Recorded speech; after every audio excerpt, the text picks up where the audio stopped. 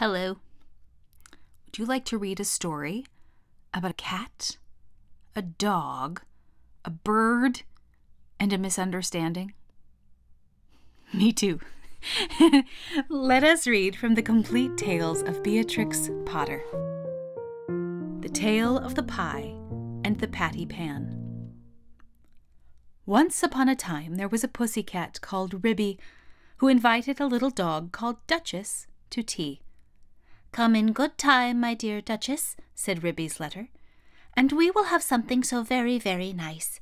I am baking it in a pie dish, a pie dish with a pink rim. You never tasted anything so good, and you shall eat it all. I will eat muffins, my dear Duchess, wrote Ribby.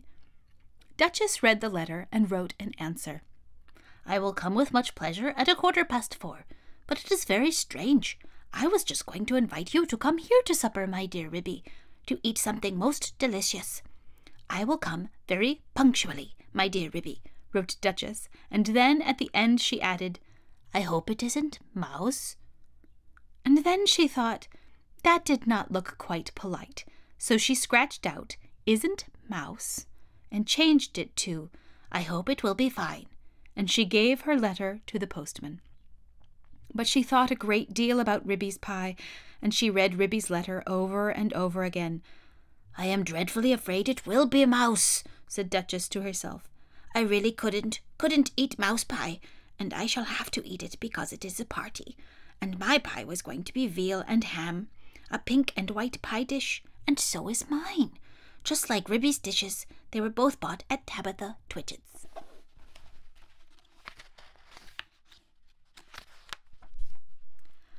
Duchess went into her larder and took the pie off a shelf and looked at it. It is all ready to put into the oven. Such lovely pie crust. And I put in a little tin patty pan to hold up the crust, and I made a hole in the middle with a fork to let out the steam. Oh, I do wish I could eat my own pie instead of a pie made of mouse. Duchess considered and considered and read Ribby's letter again. A pink and white pie dish and you shall eat it all. You means me. Then Ribby is not going to even taste the pie herself. A pink and white pie dish. Ribby is sure to go out to buy the muffins. Oh, what a good idea! Why shouldn't I rush along and put my pie into Ribby's oven when Ribby isn't there? Duchess was quite delighted with her own cleverness. Ribby, in the meantime, had received Duchess's answer, and as soon as she was sure that the little dog could come, she popped her pie into the oven. There were two ovens, one above the other. Some other knobs and handles were only ornamental and not intended to open. Ribby put the pie into the lower oven. The door was very stiff. The top oven bakes too quickly, said Ribby to herself. It is a pie of the most delicate and tender mouse minced up with bacon, and I have taken out all the bones because Duchess did nearly choke herself with a fishbone last time I gave a party. She eats a little fast, rather big mouthfuls, but a most genteel and elegant little dog, infinitely superior company to cousin Tabitha Twitchit. Ribby put on some coal and swept up the hearth. Then she went out with a can to the well for water to fill up the kettle. Then she began to set the room in order, for it was the sitting room as well as the kitchen. She shook the mats out at the front door and put them straight. The hearth rug was a rabbit skin. She dusted the clock and the ornaments on the mantelpiece, and she polished and rubbed the tables and chairs. Then she spread a very clean white tablecloth and set out her best china tea set, which she took out of a wall cupboard near the fireplace. The teacups were white with a pattern of pink roses, and the dinner plates were white and blue. When Ribby had laid the table, she took a jug and a blue and white dish and went out down the field to the farm to fetch milk and butter. When she came back, she peeped into the bottom oven. The pie looked very comfortable. Ribby put on her shawl and bonnet and went out again with a basket to the village shop to buy a packet of tea, a pound of lump sugar, and a pot of marmalade. And just at the same time, Duchess came out of her house at the other end of the village. Ribby met Duchess halfway down the street, also carrying a basket covered with a cloth. They only bowed to one another. They did not speak because they were going to have a party. As soon as Duchess had got round the corner out of sight, she simply ran straight away to Ribby's house. Ribby went into the shop and bought what she required and came out after a pleasant gossip with cousin Tabitha Twitchit. Cousin Tabitha was disdainful afterwards in conversation. A little dog indeed, just as if there were no cats in Sawrey, and a pie for afternoon tea, the very idea, said cousin Tabitha Twitchit. Ribby went on to Timothy Baker's and bought the muffins. Then she went home. There seemed to be a sort of scuffling noise in the back passage as she was coming in at the front door. I trust that is not that pie. The spoons are locked up, however, said Ribby. But there was nobody there. Ribby opened the bottom oven door with some difficulty and turned the pie. There began to be a pleasing smell of baked mouse. Duchess, in the meantime, had slipped out at the back door. It is a very odd thing that Ribby's pie was not in the oven when I put mine in, and I can't find it anywhere. I have looked all over the house. I put my pie into a nice hot oven at the top. I could not turn any of the other handles. I think they are all shams, said Duchess. But I wish I could have removed the pie made of mouse. I cannot think what she has done with it. I heard Ribby coming, and I had to run out by the back door. Duchess went home and brushed her beautiful black coat, and then she picked a bunch of flowers in her garden as a present for Ribby, and passed the time until the clock struck four. Ribby, having assured herself by careful search that there was really no one hiding in the cupboard or in the larder, went upstairs to change her dress. She put on a lilac silk gown for the party and an embroidered muslin apron and tippet. It is very strange, said Ribby. I did not think I left that drawer pulled out. Has somebody been trying on my mittens? She came downstairs again and made the tea and put the teapot on the hob. She peeped again into the bottom oven. The pie had become a lovely brown and it was steaming hot. She sat down before the fire to wait for the little dog. I am glad I used the bottom oven, said Ribby. The top one would certainly have been very much too hot. I wonder why that cupboard door was open. Can there really have been someone in the house?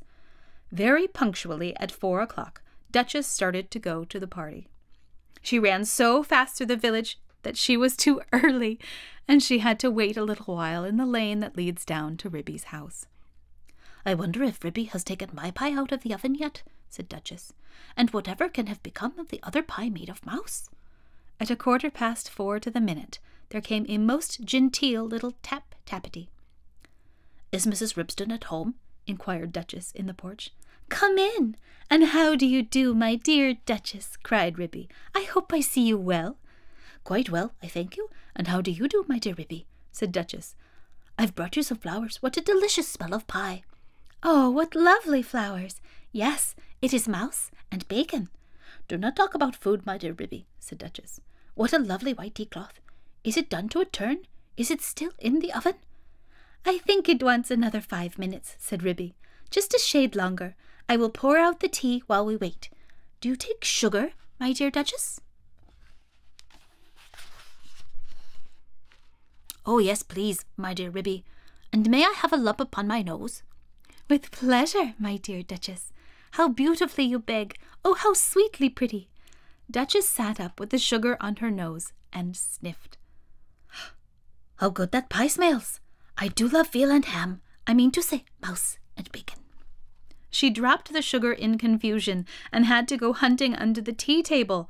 So she did not see which oven Ribby opened in order to get out the pie. Ribby set the pie upon the table. There was a very savory smell.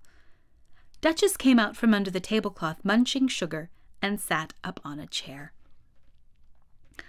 I will first cut the pie for you. I am going to have muffin and marmalade, said Ribby. Do you really prefer muffin?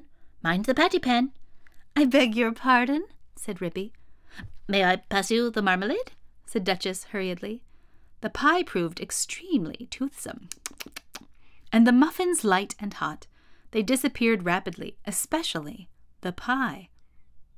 I think, thought the Duchess to herself, I think it would be wiser if I helped myself to pie, though Ribby did not seem to notice anything when she was cutting it. What very small, fine pieces it has cooked into. I did not remember that I had minced it up so fine. I suppose this is a quicker oven than my own. How fast Duchess is eating, thought Ribby to herself as she buttered her fifth muffin. The pie dish was emptying rapidly. Duchess had had four helps already and was fumbling with the spoon. A little more bacon, my dear Duchess, said Ribby. Thank you, my dear Ribby. I was only feeling for the patty pan. The patty pan, my dear Duchess? The patty pan that held up the pie crust, said Duchess, blushing under her black coat. Oh, I didn't put one in, my dear Duchess, said Ribby. I don't think that it is necessary in pies made of mouse.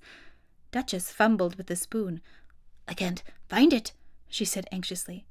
There isn't a patty pan, said Ribby, looking perplexed. Yes, indeed, my dear Ribby. Where can it have gone to? said Duchess. There most certainly is not one, my dear Duchess. I disapprove of tin articles in puddings and pies. It is most undesirable. Especially when people swallow in lumps, she added in a lower voice. Duchess looked very much alarmed and continued to scoop the inside of the pie dish. My great aunt Squintina, grandmother of cousin Tabitha Twitchit, died of a thimble in a Christmas plum pudding. I never put any article of metal in my puddings or pies. Duchess looked aghast and tilted up the pie dish.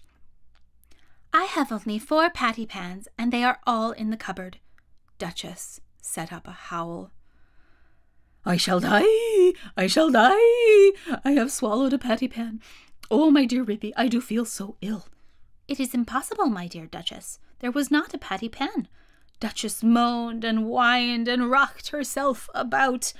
Oh, I feel so dreadful. I have swallowed a patty pan. There was nothing in the pie, said Ribby severely. Yes, there was, my dear Ribby. I am sure I have swallowed it. Let me prop you up with a pillow, my dear Duchess. Where do you think you feel it? Oh, I do feel so ill all over me, my dear Ribby. I have swallowed a large tin patty pan with a sharp scalloped edge. Shall I run for the doctor? I will just lock up the spoons. Oh, yes, yes. Fetch Dr. Maggotty, my dear Ribby. He's a pie himself. He will certainly understand. Ribby settled Duchess in an armchair before the fire and went out and hurried to the village to look for the doctor. She found him at the smithy. He was occupied in putting rusty nails into a bottle of ink which he had obtained at the post office. Gammon? Ha ha! said he, with his head on one side. Ribby explained that her guest had swallowed a patty pan. Spinach? Ha ha! said he, and accompanied her with alacrity.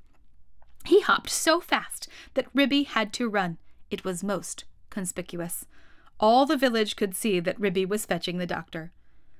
I knew they would overeat themselves, said Cousin Tabitha Twitchit.